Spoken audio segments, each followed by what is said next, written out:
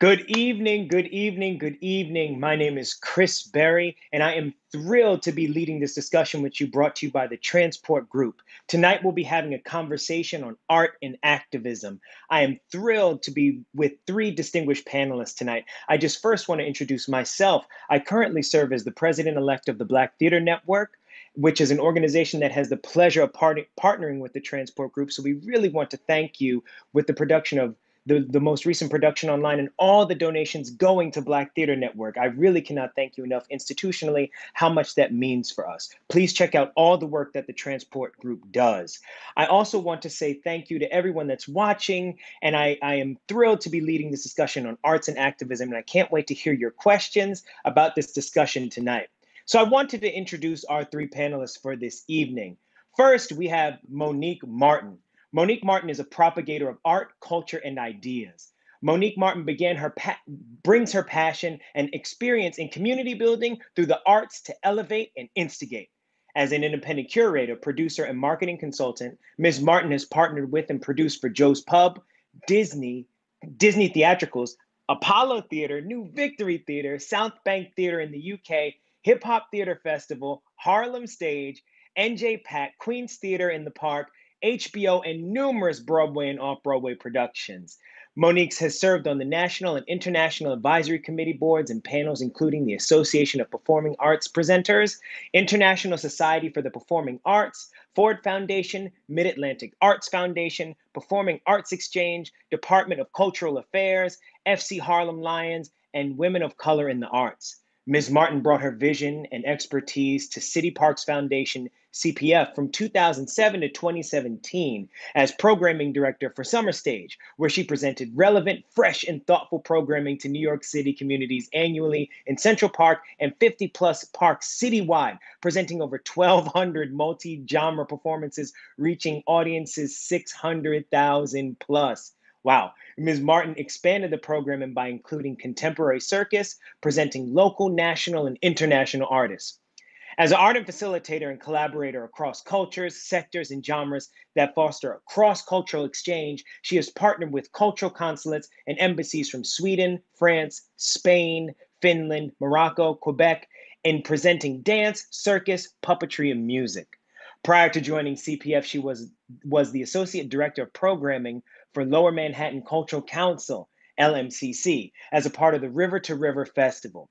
Ms. Martin, Ms. Martin is currently the Director of Programming for Harlem Stage, a performing arts center that commissions and nurtures artists of color while celebrating the unique and diverse artistic legacy of Harlem and the indelible impression that is made on American culture and around the world. Thank you for joining us, Monique. Next, I'd love to introduce Jonathan McCrory. Jonathan is a two time Obie Award winning Crain's New York Business 2020 notable LGBTQ leader, and, and as a Harlem based multidisciplinary artist, he has served as artistic director at the National Black Theater since 2012. He's been awarding the Emerging Producer Award by the National Black Theater Festival of Winston-Salem, North Carolina, and the Torchbearer Award by the theatrical legend Woodie King Jr. He's a founding member of the producing organizations Harlem Nine, the Movement Theater Company, and national service organizations such as Black Theater Commons and Next Generation National Network. A Washington, D.C. native, McCrory attended Duke Ellington School of the Arts and earned his BFA from NYU's Tisch School of the Arts. To learn more, please visit Jonathan's website, jonathanmccrory.com. The last but certainly not least, I would like to introduce to you Kevin Powell. Kevin is one of the leading political, cultural, literary, and hip hop voices in America. He is the author of 14 books, including his newest title, When We Free the World, about the present and future of our nations, available at both Apple, Apple Books and Amazon. He has been published widely, including the New York Times, the Washington Post, es- and Esquire. Kevin was the producer of She, a choreo play, and is currently developing a play about manhood with Tony nominated director Oliver Butler. He is the co curator of the new exhibit at the New Historical Society called Hope Wanted New York City under quarantine. I just really like to introduce Kevin Powell. It is a pleasure to be here with everyone. So, you know, we hear the term unprecedented times and we hear the term arts and activism. We hear those things as three entities. The the first lob and, and speaking point and talking point I wanted to interject is how does your art and activism intersect? How do those things intersect? Monique, do you want to go first? Sure. Um, for me, all of my work centers around transformation. I am always looking to provide a transformative experience for the audience and also for the artist. Mm. So, how can the artist deepen their practice, expand their work? How can the space that I provide, um, what, whether that's an outdoor stage in Central Park or the South Bronx or at Harlem Stage where I am currently, how can we be moved and stretched once we leave?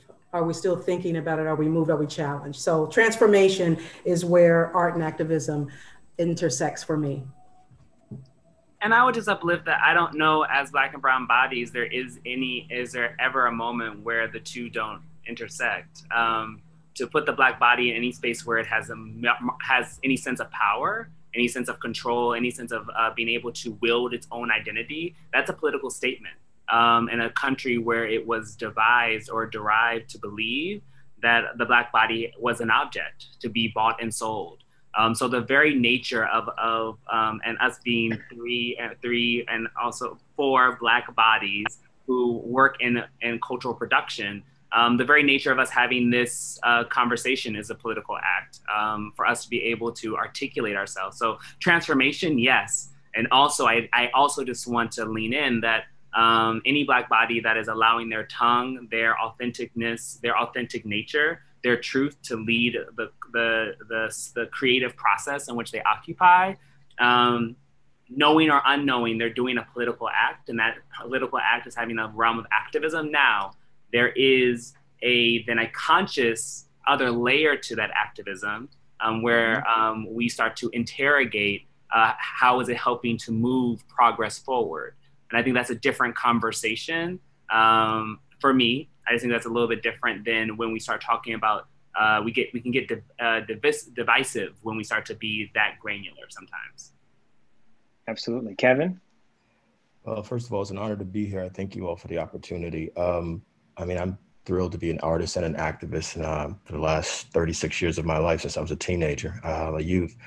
And for me, it's about freedom, it's about empowerment. But what has shifted for me over the years, um, I went from just talking about white supremacy, patriarchy, capitalism, but also understanding that, you know, the activism also has to be within because we have a lot of brilliant artists out there, unfortunately, art curators who say wonderful things, do wonderful things, but are we also dealing with the, what these systems of oppression have done to us and how we relate to ourselves and how we relate to each other? I think that's very important. This is something that James Baldwin talked about. This is something that Langston Hughes talked about. This is something that Audre Lorde talked about when I did the last interview with her in 1993 via telephone as she was dying of cancer. And it's something that has stuck with me tremendously because for me, the struggle is always on multiple levels. It's the struggle against systems of oppression, number one, within the Black community or communities of color, marginalized communities, how are we struggling with each other? Are we even willing to struggle with each other? And then the third piece, what we always leave out, unfortunately, a lot of us, are we willing to do the work inside of ourselves so we can also go forward as we're doing this work that we say is transformative for the communities or against systems of oppression? Absolutely. Do, does anyone have any follow-ups or comments based on this? No, I, I, mean, I think it's very, what Kevin's bringing up is very important. Um, there's a lot of stances and a lot of uh, people talking about this term called anti-blackness. Um, yeah. And I think that uh, everyone needs to take stock of how they are in relationship to anti doing anti-blackness work um, how their actions uh, uh, help to breathe that. Um, and if we're not able to have that conversation, then we are keeping up another oppressive nature. Uh, I, I, like to say instead of calling people out, we need to call people in. We need to call ourselves in, call ourselves, check ourselves, uh, really understand what practices we have done and how what harms we have created, um, and from there build a bridge or build or build a space of understanding. So I think what Kevin's bringing up as far as taking a self-assessment and being honest about that self-assessment, that's deeply necessary and deeply important um, in order for radical transformation um, and just pr- progress to be made clear and to show up. Because what ends up happening is that we react. You know, we react, we react And what I'm interested in at this point is, are we willing to be proactive? You know, if I'm mm-hmm. saying anti-racism or sexism, or homophobia or transphobia or any of the systems of oppression, you know, I don't want to just say what I'm against, but what else am I trying to build? As Ras Baraka said in a poem a long time ago, what are we building and creating? You know, I know Miss Martin's worked for a long time. She's been consistently building and creating something you know what I mean, work that that is transformative and is healing. And that's what, what I look for as an artist at this point. What are we building and creating? Are we just paying lip service to this stuff because it sounds good? And it takes, uh, it, it, it requires bravery and courage yeah. because when you talk about um, looking at self, it's the self and it's also the self of the community. And um, right. what I was thinking about as Kevin was speaking after uh, George Floyd was murdered, there was mm-hmm. also a trans woman murdered. Mm, that's right. The same community. And so, how can we hold the value of that's, Black bodies for everyone? That's right. Wow. That's really profound. You know, when we're talking about the multi-level and the multi-layered nature of progress, I think it's I would love to unpack these things in this conversation, right? Because go for I, it. Go for so, it. No, no, I find that a lot of these conversations, and I love that this group of people is here because the lip service is very present at this moment, right? So, Jonathan, can you um the term anti-blackness, right? When I say that, what does that mean when that is said? Only because I know a lot of people are saying it, but may not necessarily understand um, in, a, in a philosophical way how it affects people on a day to day basis. Um, so, I mean, it is the erasure of individual, um, and I, I, from my from my the way that I hold it as a definition, there might be different ways other people hold Absolutely. it. Absolutely, something considered a standard definition, but I'll just go from my vantage point, and would love to hear what other people believe the definition or know the definition to mean um, so that uh, I can also be learned. I also can learn something in, the in this moment. Um, from my understanding, um, anti-blackness is uh, it, it is acts, uh, policies, uh, modalities that are created um, that silence, uh, that erase, and that create harm uh, to people of African descent, um, people from the African diasporic um, descent, and the complexities of uh, of the black body. Um, so I would say those when I think when I when I name that in the space, that's what I mean. Um, yeah.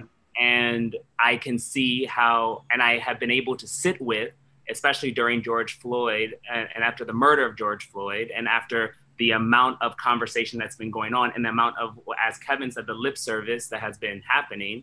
Um, I took pause uh, personally as an artistic leader um, to understand where is my relationship to helping to create such a such a moment. Um, and I can and, and if I can be humble with myself and humble with the spaces that I might have caused harm um, through my acts, through the ways of who I uplifted, who I didn't uplift, um, then I can actually evolve in this moment versus be come out of this moment ready to repeat uh, mm. a repetitive space because I don't think that that that I'm I'm a, I'm able to create that kind of atrocity on in our in our society in our communities. Monique, thoughts about anti-blackness? Well, I actually have a question. When you say I'm kind of wrestling with it a bit because there's anti-blackness of those folks that are outside of black community, and then there's anti-blackness within the black community.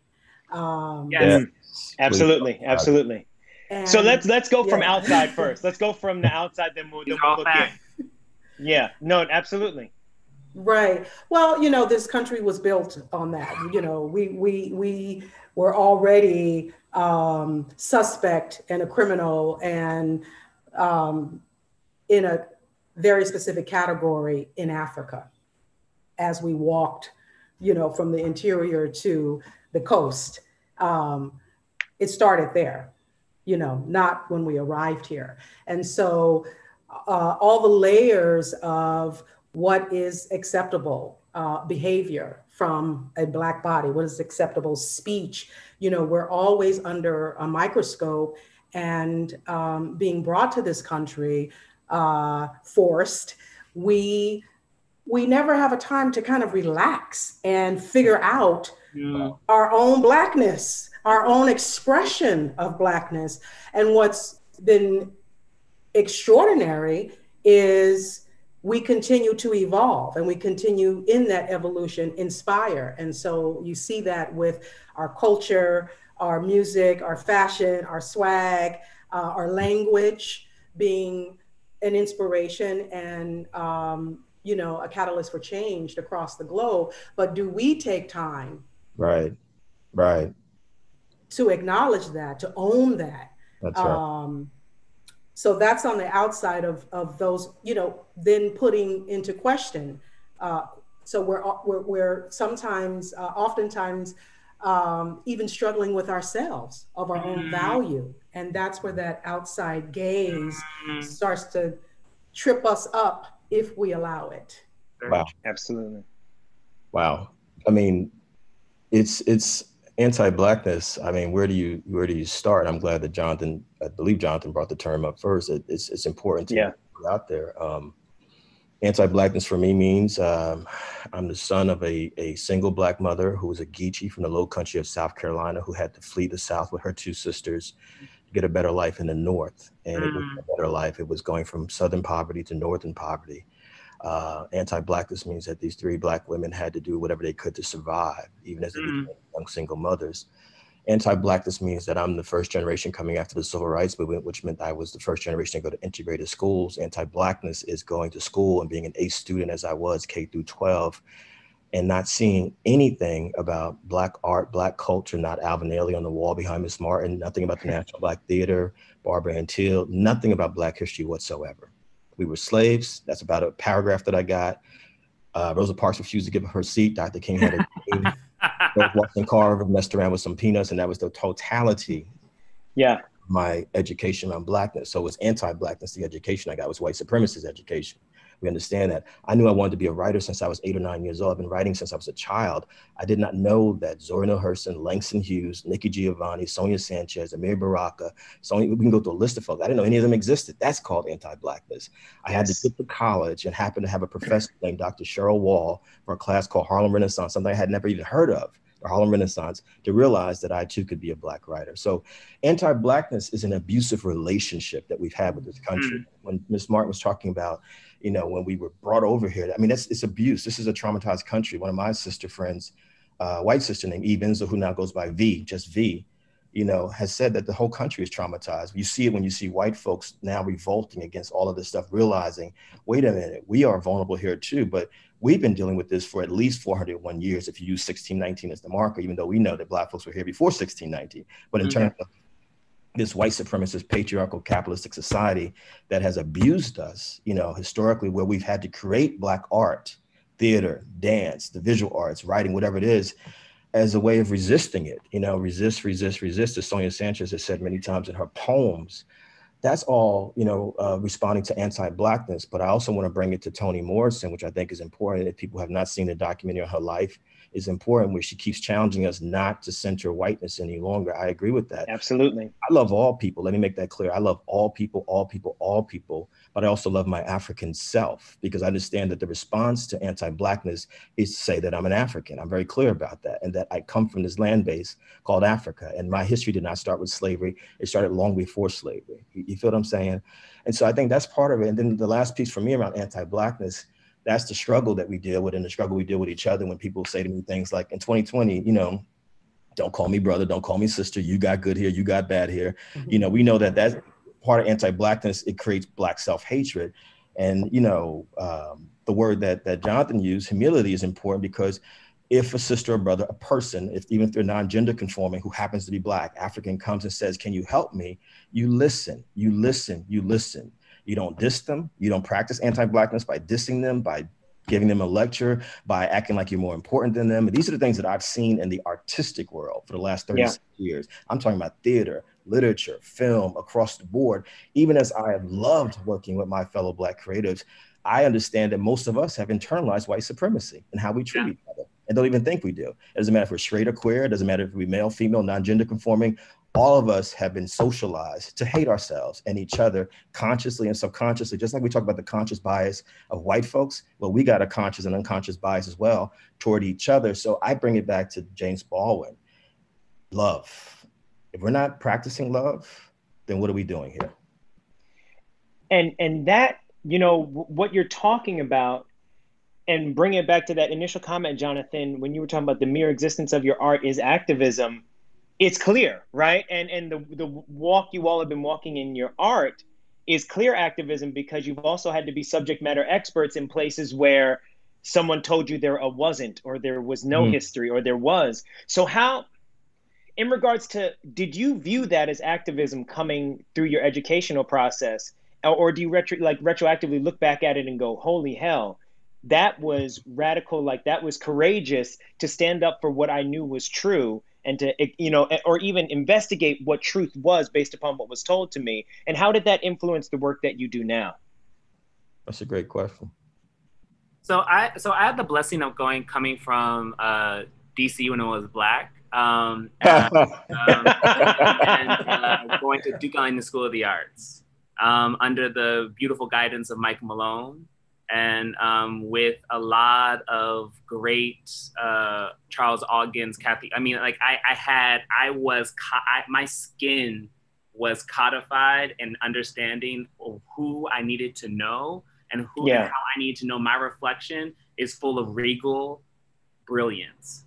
Um, and so, and so I, I, I, and I, and I've begun to understand in a lot of ways that that was a gift um, mm. that that gift was a rare gift that many other black creatives didn't necessarily have um, to be in an incubator where i got to accelerate my understanding of how i sit at the apex of brilliance and that apex of brilliance is has so much opportunity and that my tongue is connected to that and that my actions speak that and that I'm part of grace inside of that, all of that. So, like all of that lofty, beautiful language, I got to really sit with that for four years and that yeah. was and, and and and at Duke, it was a uh, it was an abnormal high school experience. You were at school at eight o'clock in the morning. You didn't leave until ten o'clock at night because I was in rehearsal. I was in X, Y, and Z. So so like so like what I want to say is that I was in an incubator to really really wrestle with this term of this term of really understanding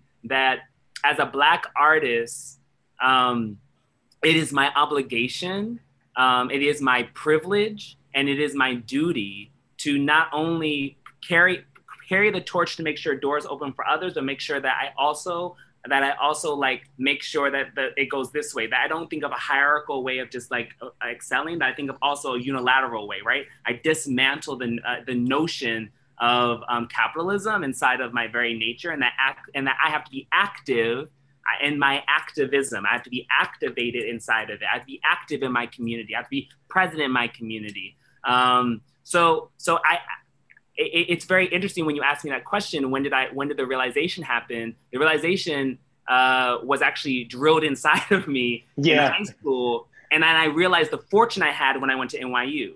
Totally different mm. environment, where where where that kind of where that kind of codified skin was actually um, tried to be dismantled by the system of NYU, which was white supremacy at its very much at its core. So, so it's like it's a, I had an adverse kind of experience, and I would say, Brother Powell, like like like mine wasn't necessarily like I. It wasn't until a la- it was it, it was like I I came through really understanding when I was getting groomed as a high school like freshman to senior in high school, like groomed to really love this skin, love this space. And also I was in DC when it was black and that we all know what that means. That's why we all laugh because we know what that chocolate city was when chocolate city was chocolate city.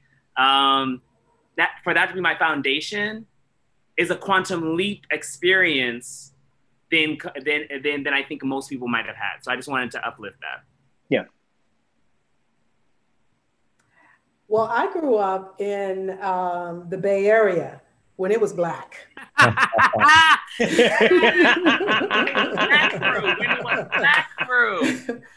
and um, you know, born in Berkeley and very multicultural. I mean, we had you know Japanese gardener on one side, mm. a black family, classic black family, uh, working class on the other side.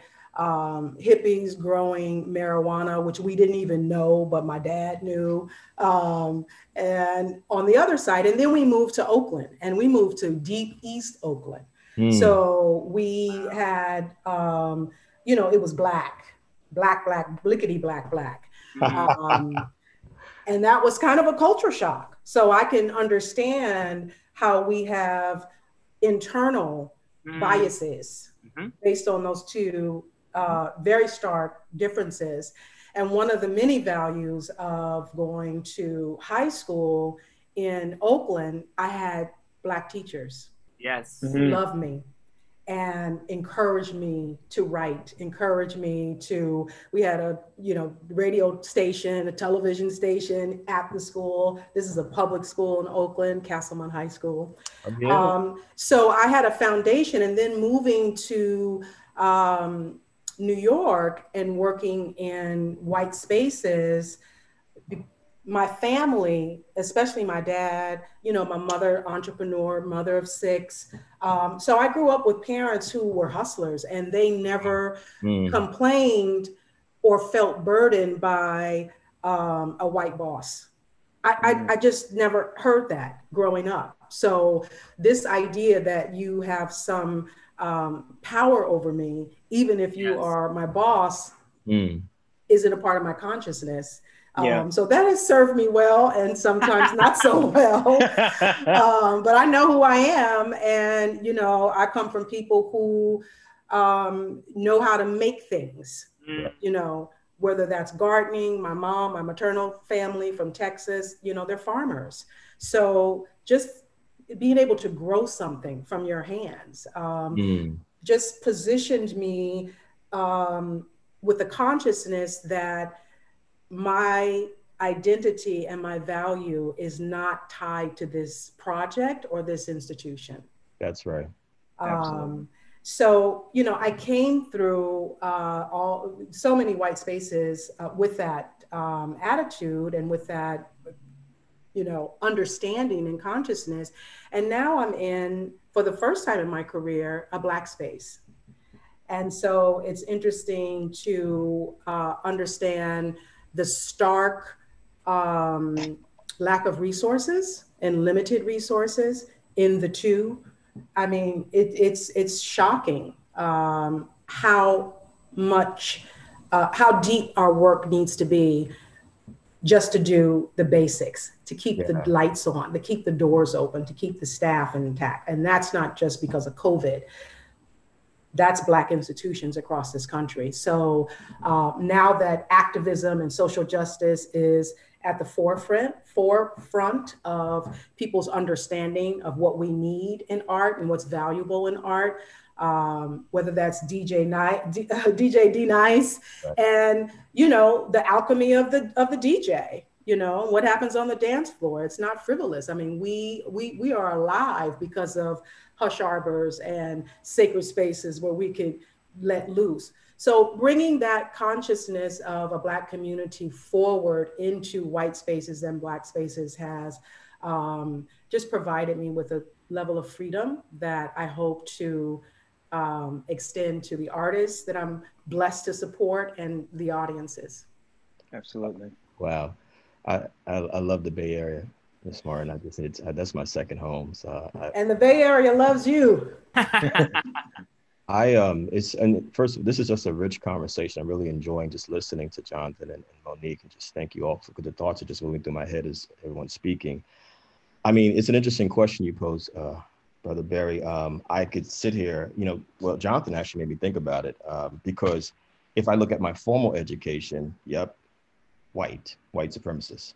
But I had to realize when I first got to got to uh, Zora Neale Hurston's Eyes of Watching God um, in college as an 18 year old, and Malcolm X's autobiography and a few other books, I realized that I had all the Black history that I needed inside of mm. my mama and my aunts and my folks down south and every time we took that Greyhound bus, because we know how folks migrate, certain folks migrated to California, some went to the Midwest, some went up the East Coast to DC and mm. New York and New Jersey. And so I'm a proud family of Geechees. And I realized now that I realized quickly that it was beautiful poetry. It wasn't broken English, it wasn't bad English, and all the hateful stuff that we say about the language that we speak. You know, I realized that the way my mother prepared food was beautiful and it was part of our culture, what we call soul food. I realized that um, the way she played the radio in the kitchen and we heard everything from spirituals which is to the, why to this day i barely listen to any spirituals made after 1970 because i'm like i need the old stuff my mama played. I realized that as my mother talked about marvin gaye and Diana Ross and the supremes and james brown and the apollo theater where she had gone as a young woman when she had migrated up there how important that was. I realized how even the black church experience how that was theater. That is theater. That is theater. Yeah. you know and unfortunately, I didn't have the skill sets when I was growing up to understand and appreciate it because there was that disconnect, you know. Absolutely. Uh, Jonathan described is what I would say, like if you have a parent or parents who are woke versus parents who are just they're, they're black, but they're not woke, they're not like woke, you know what I'm saying? And so I knew I was black, but there was also like, you know, whiteness was superior, basically. You know what I mean? And it does a disservice to us and it does a disservice to white folks. I mean, yeah, I can quote Shakespeare to this day because I worship Shakespeare. I, I worship Edgar Allan Poe. Uh, I worship Charles Dickens. But I, you know, it wasn't until I was in the 12th grade, I had a black teacher named Mrs. Lillian Williams. God bless her soul. She died a few years back, and four generations of students showed up for her. That's how powerful this black woman was. And her husband happened to end up being the first uh, black school superintendent in Jersey City. She was the first teacher I had in those 13 years of school who said that I could write. She was the first one who acknowledged it. Maybe entered an essay contest. I won a citywide essay contest as a black boy, which was unheard of. You know what I'm saying? And she gave me something that I needed, and it's something that, that the word that Jonathan used about incubating. You know, there wasn't that incubation there. You know, mm-hmm. I actually drew as a child before I even wrote as a child, but my mother didn't know that you know what he might need to have art classes because it wasn't that kind. Yeah. I think I also think it's important to make a distinction. Um, I grew up in a place called Jersey City. I don't diss Jersey City. It made me who I am. But I noticed that when you got black folks who come from places like DC, the Bay Area, Detroit, Atlanta, it's like the same kind of attitude that you see in the energy and the spirit and the swag that you see from black folks coming from Jamaica, Barbados, Trinidad, Tobago. You feel what I'm saying? Because you see black possibilities all over the place. And so if you don't see black poss- possibilities in front of you, this is where art comes in. We need to see theater. We need to see dance you know, we need to see these possibilities. Otherwise, you'll grow up like me, not thinking that Black folks create art at all. But once I realized as an adult, Kev, you've been around adult art your whole life. We just didn't call it art. You know what I'm saying? Yeah, yeah, yeah, yeah. That's what Black folks did. You know, the way we, I mean, my mother showed me how to do the jerk, the funky chicken, you know what I'm saying? The twist, the mashed potato. You feel what I'm saying? It was all teaching me art.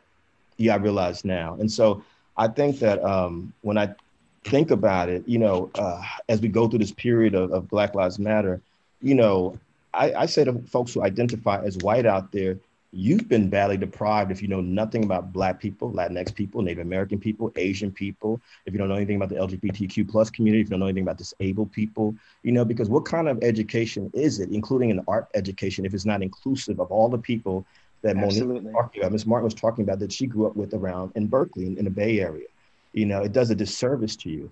For me, once I got to college, I spent my four years in the E185 section of the library, which is where all the black books are, y'all. For those who remember that, the E185 section. And I absorbed myself in the Harlem Renaissance, the Negritude writers, the Black Art Salute, and everything that I could, discovering the last poets, discovering the Watts prophets, you know, uh, studying theater, Jonathan. I studied every playwright I could. I mean, you know, I just went deep. And then I realized after college, wait a minute, Kevin Powell, you learned a lot about a lot of black male black male artists, but you barely learn anything about black women art. So now you got a whole nother level of work to do. You know what I'm saying? And you know, it's it's to me, it's a nonstop education. Yeah. So so this process, you know, what I find to be a part of this activism discussion is decentering the white gaze in the work that we do so that it's not necessarily it's not the assumed neutral um, or the assumed like when we don't put a hyphen behind something that it means white how how do you decenter? How are you actively decentering white gaze in your work, and how can you recommend, especially to artists that are looking to like infuse activism into their work, tools and ways that you decenter whiteness in the work that you do? I just want to add that um, you also have the decenter patriarchy as long. There you go whiteness. Um, yes. Our disease that sit at the center of our being. Exactly. Um, and I didn't mean to speak first, but I just wanted, I, as we answer this. No, that's perfect. No, that's great. That's great. add that element of coding to it because that patriarchy is can be is something that has destroyed our movements actually um, mm. actually being able to be sustainable and thrivable um, when i think about someone like dr barbara ann teer who um, as a woman, a black woman, um, who founded a theater company, who bought a city block. Patriarchy limited her visibility, her her notor- her notoriety, and yeah. actually made her a threat um, to her counterparts to some degree because she couldn't be controlled um, by this notion of that that that that hierarchy was built on. So so I, for me, how do I how do I do it? Again, it goes from I for me, my leadership goes from my individual practice to then how does it ripple out? Um, I honor my she energy. I think that I think that my spirit is guided by a she. I my pronouns are he, him. My spirit is a she. I say that every single time. That allows for me to understand the sensitive vibration that you actually are responding to, the thing that actually is saying that's making uh, having you have some type of reflection, is that space, is that is that she energy that's a part of me, and then therefore I have to honor the women that are in my space. Like I first person I said I wasn't doing that as a disrespect, Monique, but I was just like Monique, do you want to go first? Because yeah. Because, because like because it's very easy for when I understood when I when I didn't when I centered myself in my masculine self was very easy for me to overshadow, overpower, but I wasn't honoring the gift that a woman's energy provides me to be able to be present in this world and that is what people are responding to. So i think that's a person i think that it, it, it is a personal state statement that then can trickle out through action. Um, absolutely. uh, and i think that it's a centralization that we have to really look at because it has silenced great giants from being able to do their sustainable work that could have healed our planet. Mm.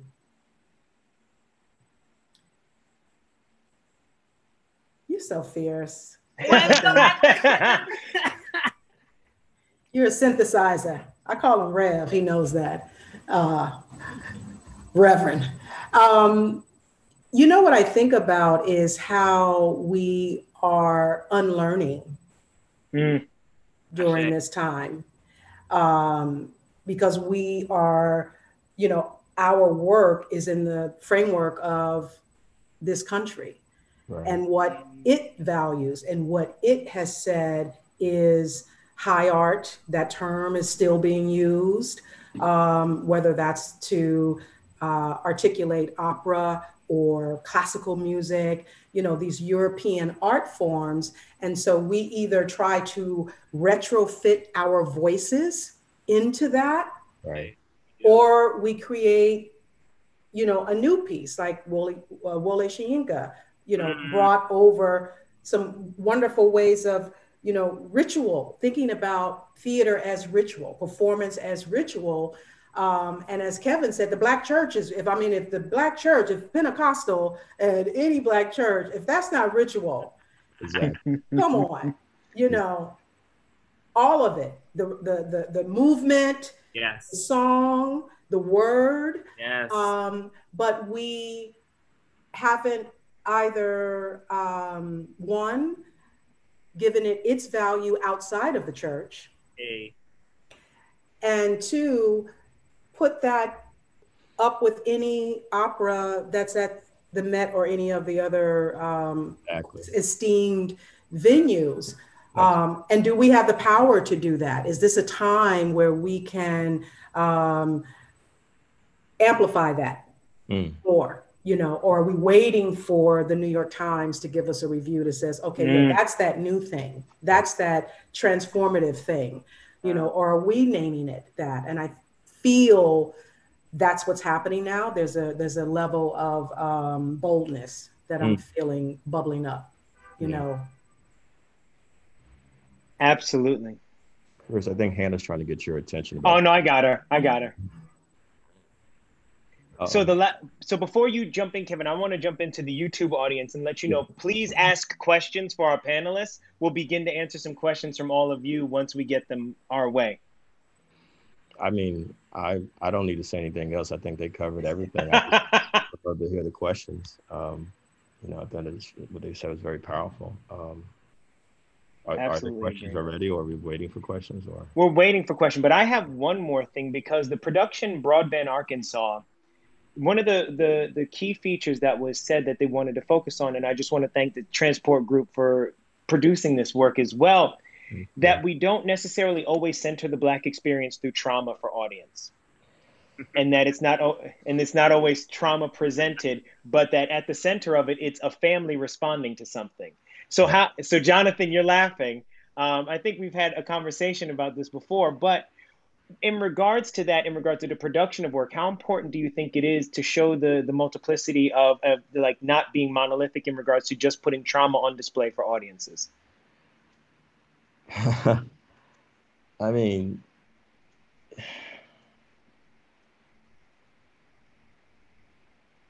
something that Monique said um, resonated with me, you know, um, about not feeling like you have to answer to people that you work for people. One of the things I pride myself on with these 14 books, and I, am proud to say that I've written 14 books. I started really young in my 20s.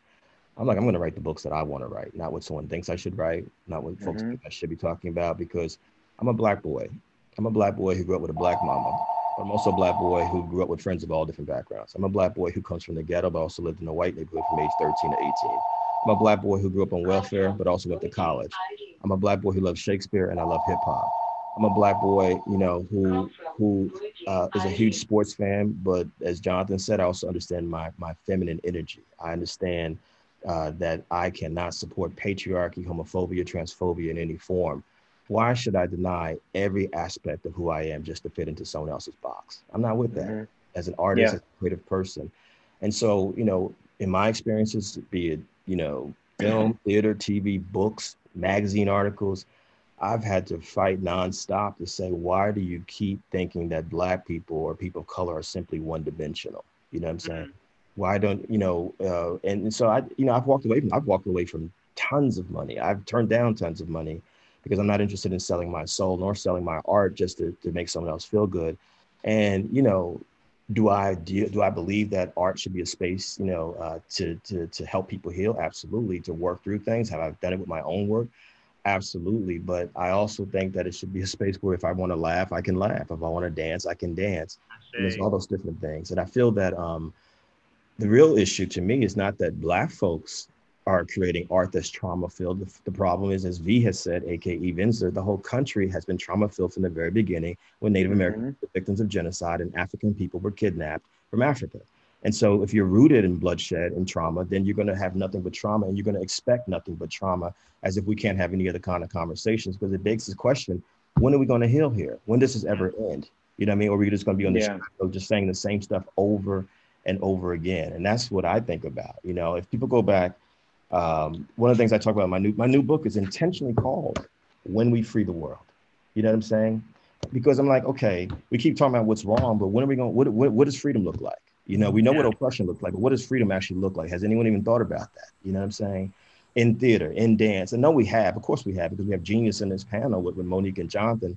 But I think for everyone out there, you know, what informs my art, I'm not sitting there saying, okay, I'm going to write a piece about freedom right now. I follow the spirit, the universal spirit some say he, some say she, some they, some say they. That leads me. Whatever I write, it comes from my ancestors. It comes from that spiritual energy. I'm like, this is what I got to get out of me right now. You know what I mean? And if it happens to be something that deals with mental health, you know, or, or physical violence, or, or something that has happened to me or my family or my people or people in general, then so be it. But at the end of the day, you know, I want to continue to create art that that's about healing and, and, and trying to figure out some solutions here because I don't want the black boy who is sitting there and reading The Education of Kevin Powell, my memoir, to walk away any way other than how I felt when I read the autobiography of Malcolm X. When I finished that book, I mm. cried because it was a great work of art. And then I said, okay, this is what I got to do with my life now, because now I have an example of what is possible. That's what art should Absolutely. Be. And we've also learned from those that were in had in charge of the, the purse strings, in charge, you know, who, who had the funding. And uh, what we're seeing in terms of the foundation of Black theater, um, a lot of it comes out of protest theater. Right. Yeah. And the civil Absolutely. rights. So prior to that, the theater that was happening um, was in, it was, it was, uh, you know, pre-segregation. Um, you know, I mean, so it, it happened when communities were separated. That's right. So now mm-hmm. we have funding that comes, and what do the funders want to see? Yeah. The funders are funding work that speaks about the injustices, and that, that was relevant work. I mean, there's some incredible work from Amir, Amiri Baraka, um, mm-hmm. you know, many of our incredible playwrights from that time. And so then that continues to get funded, that continues to get reviewed. And how do you bring in, you know, some joy, some, right. Um, you know, even thinking about August Wilson's work with the magic and the mysticism that he had in his work. Um, I know when I came, my mom and I took a trip to um, New York before I moved here, and we saw um, the play, August Wilson's play, where um, he curses God. Oh my God. Joe Turner come and gone. Joe Turner. No, yeah. before that, before that. He, I think he curses him in almost every. Are you talking about with Charles? Was it Ma Rainey? Charles Ma Rainey. Ma Rainey. Ma Rainey. It shocked, it shocked me when he did that, but I was like, wow. My mother was like, "Let's go." Let's go. Yeah, yeah, yeah. We almost. I mean, I had to beg her wow. to stay. Wow. She was ready to go. So hmm. you know, you know, there, there are those challenges as well in in terms of what is Christianity, what do you believe in, you know, do we have space for mysticism? Um, yeah. And so, mm-hmm. what gets funded? And I'm I'm also thinking about. I mean, I'm just proposing these, and I, I no solutions other than you know create what makes your heart sing and what's gonna what's gonna move the narrative, what's gonna move the needle. But I also think about um, South African theater and where they are now, most of their theater, a lot of their theater, or at least the theater that we were able to um, experience was anti-apartheid, was protest theater. And so now they're wrestling with what is their post-apartheid voice. Yeah, absolutely. And I feel that's a place where we're in now that social justice is trending. Funders are now um, um, addressing the inequities in funding. And so we have an opportunity to put some their voices and other work out here. So I'm excited. And I also, and I also just real quickly, I also just wonder, um, uh, really around what does it mean to uh, build work in a system that is baked off of excess wealth from slavery? Like Oh, yes. is built off of excess wealth from slavery. Foundation culture is built off excess wealth from slavery. And so when we start to talk about actually creating works that are the antithesis of activism, is against kind of it's like it's it's like a little bit of a of, of, a of a mind of I don't mean to curse, but a full I, I'm not gonna say it, but a mind, you know what I mean? because because the very because, because the very notion of the works that we're talking about, Amiri Baraka, uh, Amiri, the works of of, of the in Soweto, Soweto, they weren't funded per se by the system. They were working, yeah. they were on the streets working against the system, and they were figuring out how to make their voice be heard, whichever way it could be heard. And so, what does it mean now that this the the thing of activism is is wants to be in a fundable space? How actual, how radical, how free, how how um how liberatory can it actually be? How can it speak from a place of its own liberation? Um, when it's being funded by a system that has memory, echo, and blood of slavery, memory, echo, and blood of actually oppression. Where how how how free can it be? So that's what I wonder. Absolutely. So we have a couple questions from the, the YouTube audience. So the first question is Are you encouraged by this moment in history? And how are you encouraged? I'm, I'm, Mark, Miss Martin, you wanted to say? I saw you about the. I, you know, I'm inspired. Me too. Yeah. I'm inspired. I am inspired by um, my white colleagues, mm. my Italian and Irish because I think we should abolish the word white, white? and black forever. Can we can we I do agree. that? Think about that. Um, you know, we're the only country that uses that to identify people. Other cultures and countries, you know, use the, the, the culture they're from. So anyway, I'm inspired and encouraged by um, my colleagues in the field who um, you all probably experienced this as well that were sliding into my DMs right after um, you know the protests really uh, began to kick up you know, Monique, what should we be doing? What should we be reading? Yeah. You know, where where should we go? And um, as frustrating as that can be or or was at that time, you know, these are people who I work with. These are people who I know is coming from their heart. Um, and it demonstrates the lack of education in this country. Exactly. I mean, exactly. White folks don't even know about their own history. And Yeah. so, Mhm. as an example, one of my colleagues says, You know, I saw on somebody's page you wrote, white is a construct to Hmm. oppress Black. I've never heard that term before. What do you mean, white is a construct? Yeah. Yeah. This is a highly educated Yeah. leader Yeah, Yeah. yeah, yeah. of an institution Yeah. in this city. Yeah. So at least she was willing and felt safe enough with me to That's- ask that question. Facts. And I didn't reflex. Like, you've never heard that before? I had to really take that in and have some compassion. Right. Right. Um, right. and and take it as an opportunity to break it down. So um, so I'm inspired by that, and I also wanted to say, in terms of artists that are looking for places to um, advance their work, Harlem Stage, National Black Theater, the Apollo also has residency programs, and we are looking for bright voices, bold voices, and a lot of artists of color don't have um, you know a deep understanding on what it takes from ideation to premiere and Yeah. what all is involved in that and this is also an opportunity to kind of break that down and and there there, there is a pathway to um, getting your work um, created done and ready to tour and that's what i'm up for and hopeful for Awesome.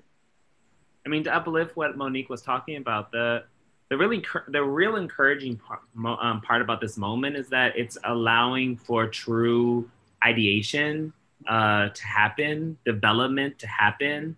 Um, there's a kind of uh, intentional pause that Mm. um, culture's having to have from potentially a forward facing, like we're creating productions like we used to. We get to think from we get to think from a different space a little more nuanced space, um, and then we also get to really incubate um, and think about intentional incubation. I mean, like for NBT, to what Monique was talking about, our residency programs we're still investing in. We're still we're still we're still breathing life into them. Um, even for NBT, we just announced our playwright residents. We went from three playwright residents to I mean two player residents to three player residents, and we increased the fee for our producer in resident.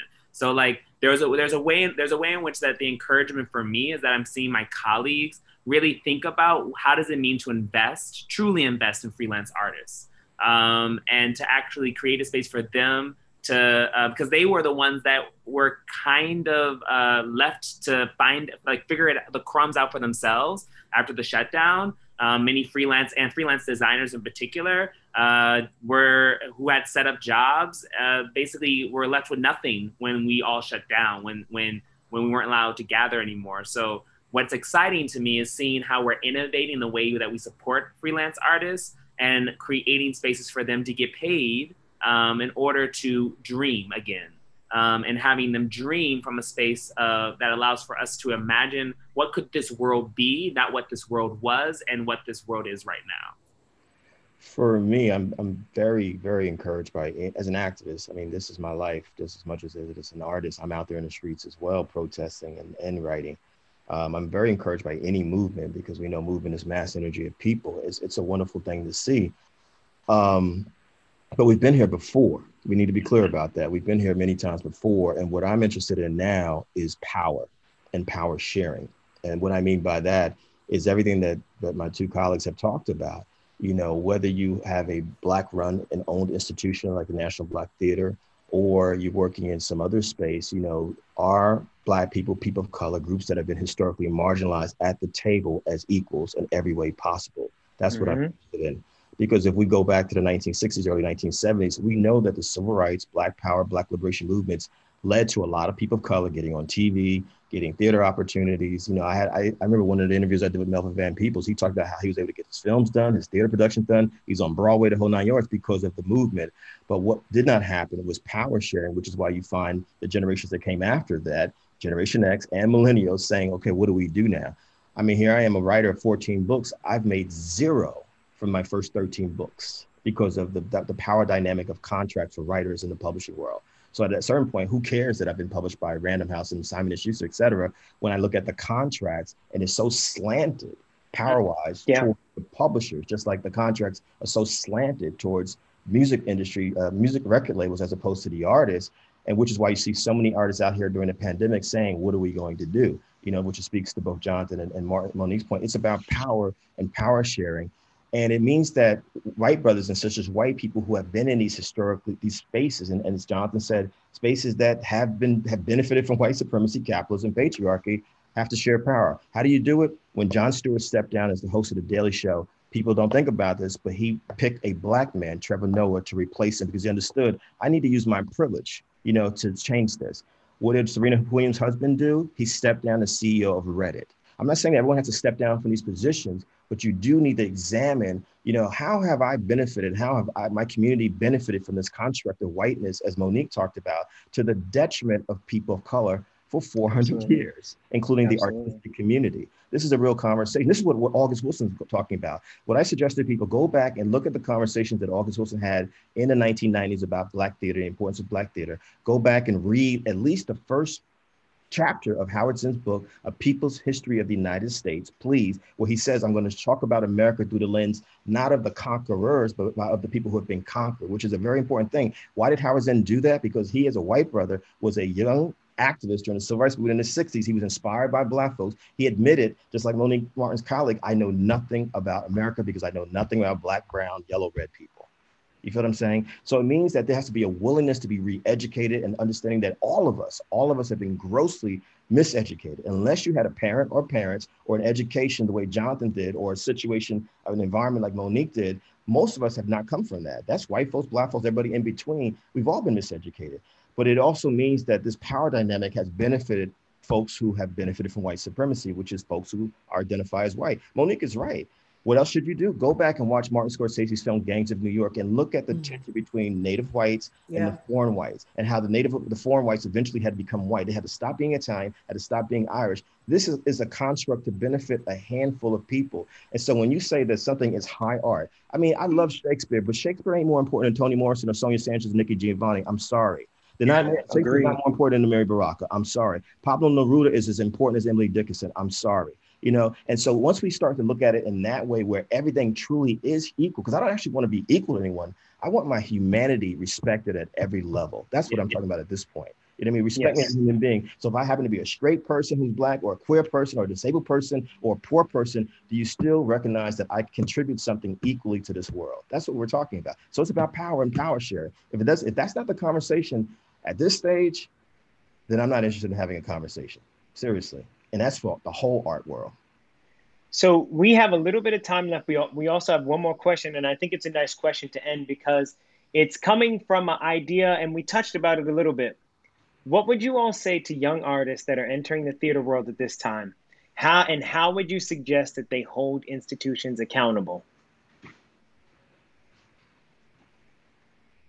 Build your own community. No one, you know, can do it on their own. And theater in its nature is collaborative. And I think a lot of our artists, um, because we have uh, limited resources for a number of reasons. Um, if you if you're not coming as a trust fund baby, because a lot of the uh, theater companies, you know, students graduate from Yale or Juilliard or, or, or different schools, and they come out with a community and with a few coins from their family. So they can put up their first production. And we often um, want to do it uh, on our own. And i'm sharing this from my three years now at uh, Harlem Stage, and we have a fund for new work, and it is designed for emerging artists. And there's so many conversations that I've had where the artist is uh, the writer, the director, the dramaturge, and they sewing the costumes on the weekend. you know, we need to know and trust each other. Um, I think trust is a big part of it, and and that again is learned behavior from. Um, you know, being uh, in, in situations that weren't so equitable. I'll just leave it there.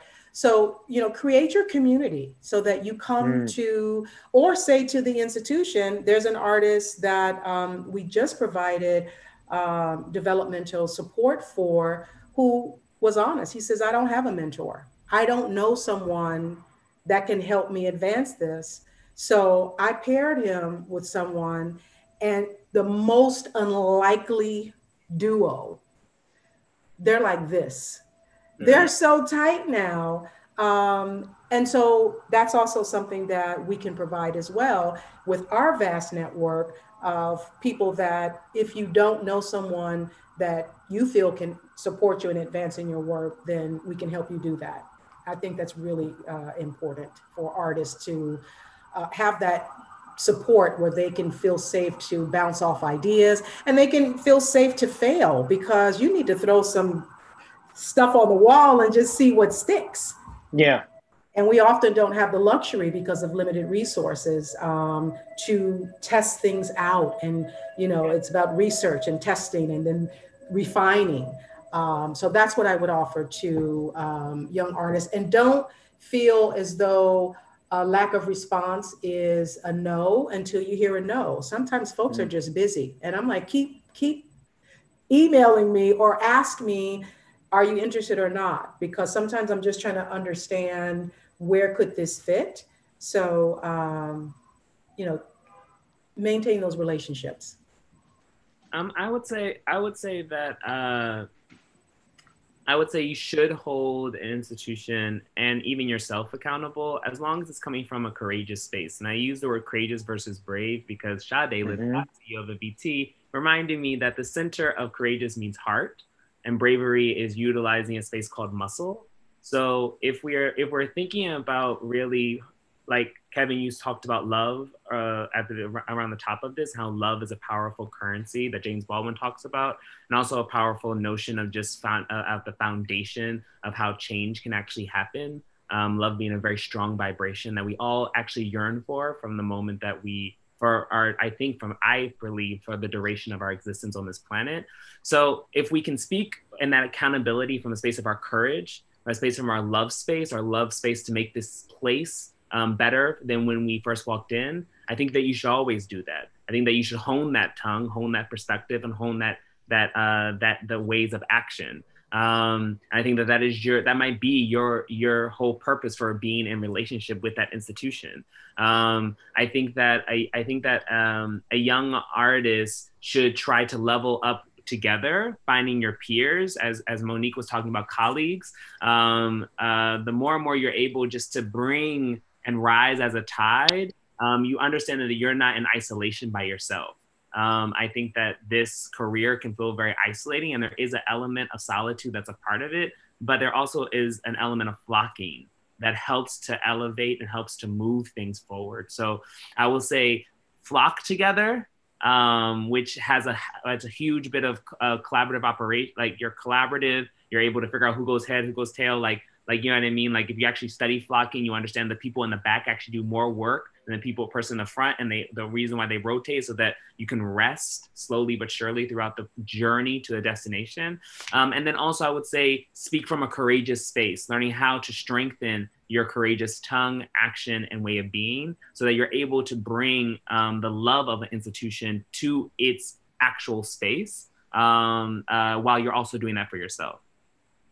I, I want to um, say that I don't think it's just for young artists. I think it's for all artists um, because let's let's think about the fact that August Wilson was basically 40 when he mounted his first show on Broadway. Toni Morrison was basically 40 when she wrote her first novel.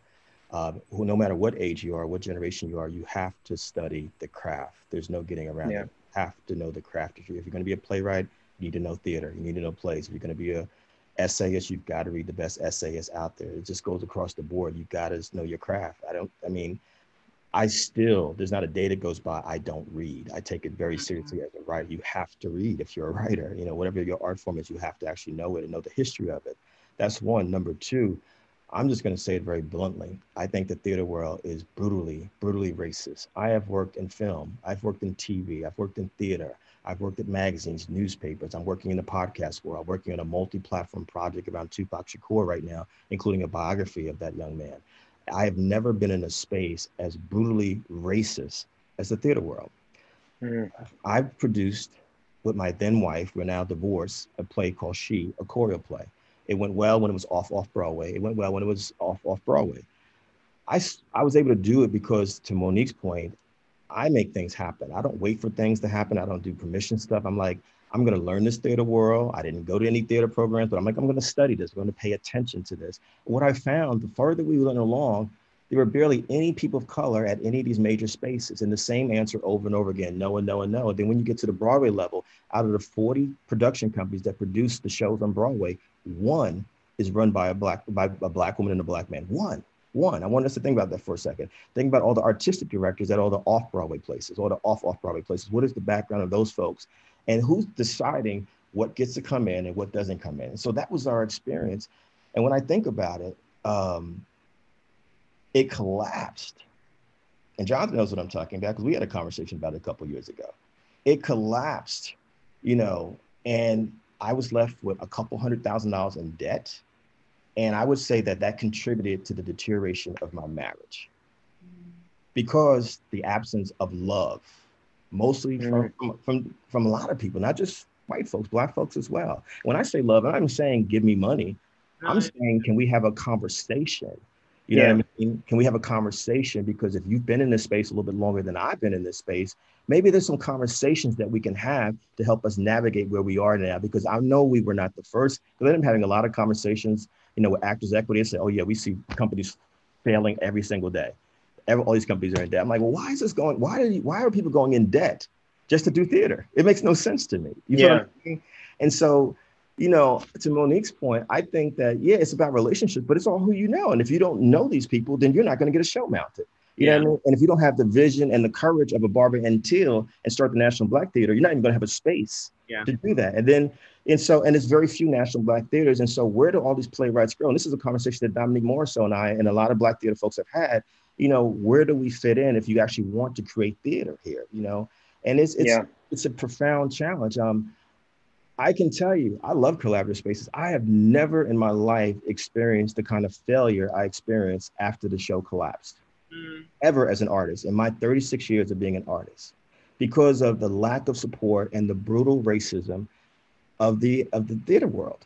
You know what I mean? And I think that as we're talking about Black Lives Matter, this is a real conversation needs to happen, which is whether the artist is 20 years old or 40 years old or 60 years old, if they have something to say, are you willing to support them if they don't fit into mm. the box of what you think Black theater should look like? Mm. You feel what I'm saying? You know, and why are we only allowing certain people to get through? Like I can say in my world as a writer, I've gotten through, but I know there's writers as talented or way more talented than me who should have had 15 books by now. But certain yeah. people are allowed to get through. Do you feel what I'm saying? Absolutely. I, but because I practice the Harriet Tubman theory, which is I don't want it to just be about me as a book author. I think all of us who have something to say, if we actually are good at what we do, should be in that space. What I found in the theater world, the higher up we went, the narrower the space got. You know what I mean? Mm. And I think this is horrific. You know, I was lucky enough to self-fund most of it, but when we got to a certain stage, I was like, wow, this is not going to happen. You know what I mean? And it was devastating, as I said, but it also begged the question, why is it even set up like this that people end up in debt, and not just black right black theater people, but all theater people, where you're struggling just to mount a show. Why does it cost so much? And what the other question I was asking as we were doing one production of show, why is it that there are no black people working behind the scenes for most of the productions? You know what I'm saying? And then I'm being told, well, here's the union setup. And you know, if you're not union, well, how can you get into the union? So it comes back to that conversation that Spike Lee had to have in the film world. I need to have black and brown people in the union so they can actually be electricians and gaffers and all this other stuff as well. So when I say power, this conversation is irrelevant to me if it's not about yeah. the whole landscape of what this looks like, whether you have the National Black Theater or you're on Broadway. Black people should not be struggling. People of color should not be struggling to mount a play. They should not end up in debt because of a play. That's absolutely obscene to me. Absolutely. Well, oh, Monique. I, yeah? want, I just wanted to say, Kevin, um, for you not to have a long experience in, as a theater producer, you were you were you were pounding the pavement and going in front of the First Corinthian Baptist Church. That was something that a lot of theater folks wouldn't think to do. Like the audience development person, shout out to Marcia Pendleton, yeah, think to yes, do that. Yes, Marcia. But as a producer, you know, so you were doing all of of of uh, making all the moves that needed to be made. Um, so I just wanted to commend you on that and offer that we should have another conversation around philanthropy and funding. I think about Liz Diamond and Stick Fly, mm-hmm. and yes. there was a group of um, Howard alumni that created an LLC. You know, because you see these Broadway producers and you see these names, and one name might have five other people behind them. Yes, very true. And so, understanding philanthropy, understanding how do we fund these projects, and we oftentimes aren't the ones putting the money down. And so, um, that's a conversation we need to be having now as well. needs to happen because I mean, unfortunately, a lot of us do not support theater. Unfortunately, you know, what I'm saying some of us do, but not enough of us do. And I think it's important because we're, you know, one one of the conversations that I had was with a very wealthy black person. They actually said, "Well, I'm not going to make any money out of this." Well, I mean, for Christ's sakes, I'm directing my first documentary film right now. Documentary films don't make any money, but I'm doing it because I love documentary films, just like Jonathan. Yeah. Do theater because he loves theater. We're not in this because we want to make money. We do it because we know it's important for the lifeblood of our communities to do theater. And so I think that that's part of the conversation that needs to happen, you know, after we get this monster out of the White House, you know what I'm saying? How do we support the arts, even if it's not making you the investor money? You know, do we understand that this is about the history and traditions of our community? So I agree with you. I'm down to be part of that conversation. And there's so ah, few uh, Broadway producers that are actually earning, yeah. making money. I mean, I don't know what the what the statistics are, but Hamilton is an anomaly. It's an anomaly. Okay? 100%. Yeah. Most Broadway producers are not making money. They yeah. love it. And so they're able to invest. So that we need to put that together. Right. I that agree. sounds like the next conversation. I, I, I, that would be a, I like, I am, I'm pumped for that because that that's thrivability and sustainability right there. You know what I mean? And, you know, when we talk about internally with when, when black survivability and sustainability and longevity, right? I think that's, that's the way we need to keep moving. So I want to personally say thank you, Kevin. Thank you, Jonathan. Jonathan, thank you, Monique. This was absolutely awesome. And thank you, Transport Group. And just a reminder, you can stream Broadbend Arkansas until Sunday and all donations go towards the Black Theater Network. And I'm so thrilled to be an institutional partner with the Transport Group, and we look forward to continuing that relationship. But first and foremost, and lastly, I just want to thank the panelists for this absolutely fantastic discussion on